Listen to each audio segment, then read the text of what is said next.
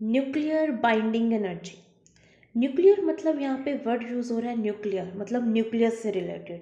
तो हमें कितनी एनर्जी चाहिए न्यूक्लियस को उसके कंपोनेंट्स में तोड़ने के लिए? न्यूक्लियस में होते हैं न्यूक्लियोन्स, प्रोटोन और न्यूट्रॉन।